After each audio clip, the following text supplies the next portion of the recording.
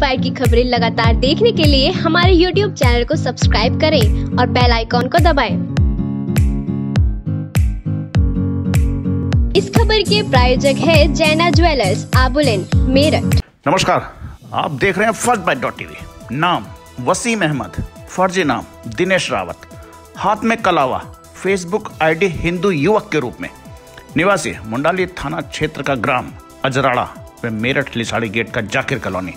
काम, युवतियों को प्रेम जाल में फंसाना, यह उसका स्ट्रगल है, लेकिन एक वर्ग विशेष में यह कृत्य, लव जिहाद के नाम से कुख्यात है। वसीम ने दिनेश बनकर हापुड़ के एक युवती को अपने प्रेम जाल में फंसाकर उसके अश्लील वीडियो व फ़ोटो लिए और उसके आधार पर ब्लैकमेल करते हुए लगातार उसे अपनी उंगली पर नचाता रहा। गंभीर बात यह भी रही कि फर्जी आधार कार्ड में उसने अपना नाम दिनेश रावत रख गढ़ रोड स्थित लोकप्रिय अस्पताल में दो साल तक नौकरी की। हाथ में कलावा बांधकर वह यह साबित करता रहा कि वह हिंदू है। युवती के पिता की शिकायत पर जाँच पड़ताल हुई तो पुलिस के सामने उसका कच्चा चट्ठा निकलकर सामने आ गया। पुलिस ने उसे गिरफ़्तार कर लिया। जिला हापुड़ निवासी एक व्यक्ति ने थाना मुंडाली में रिपोर्ट दर्ज कराते हुए बताया कि वसीम अहमद, पुत्र मोमिन खां, निवासी ग्राम अजराड़ा थाना मुंडाली ने अपना नाम दिनेश रावत, पुत्र विजय सिंह निवासी जाकिर कॉलोनी थाना लिसाड़ी गेट बताते हुए उसकी पुत्री से दोस्ती की। उसे प्रेम में फंसाया और वीडियो व फ़ोटो खींचकर लगातार उसका शारीरिक व मानसिक उत्पीड़न करता रहा। जब युवती को उसकी असलियत पता चली तो उसे जान से मारने की धमकी दी गई और उसे डरा दिया गया।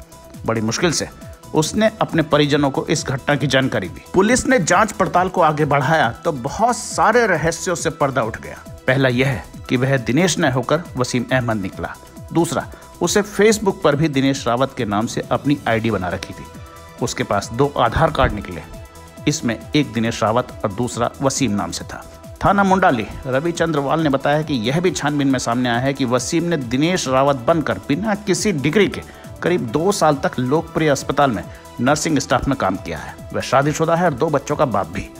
पुलिस ने उसे गिरफ़्तार कर लिया है। एडिशनल एसपी व सीओ मुंडाली रामानंद कुशवाहा ने इस मामले की पूरी जानकारी दी। आइए देखते हैं। वसीम अहमद नाम का लड़का, जो थाना मुंडाली का अजरा गाँव का रहने वाला है। इसने एक फर्जी फेसबुक आईडी दिनेश कुमार रावत के नाम से बनाया था और उसे एक व्यक्ति से दोस्ती हुई थी और काफ़ी दिन तक इसकी दोस्ती रही उसी लड़के से इसने शारीरिक संबंध भी बनाया था। और उस लड़के को जब पता चला कि दिनेश कुमार रावत नहीं शास्त्री नाम वसीम अहमद है उसने थाने पर कंप्लेंट किया गया था। उसकी मुकदमा पंजीकृत किया गया तीन सौ छिहत्तर का। और जाँच में भी पाया गया कि इसका जो आधार कार्ड है, दिनेश कुमार रावत सनाफ दिनेश सिंह, और इसका एड्रेस भी गलत है। और इसी नाम से एक लोकप्रिय नर्सिंग होम में ये नर्सिंग स्टाफ का काम भी करता था। और एक प्रेस में पत्रकार भी था। इसकी और भी गतिविधियों की जाँच की जा रही है इसके खिलाफ दो मुकदमा पंजीकृत किया गया। है एक फर्जी आधार कार्ड बनाने का और एक लड़की के साथ रेप करने का। इसके साथ आपत्तिजनक फ़ोटो भी प्राप्त हुआ है और इसकी और इसकी गतिविधियों की जो है, उसकी जाँच की जा रही है। उसको गिरफ़्तार करके जेल दिया जा रहा है।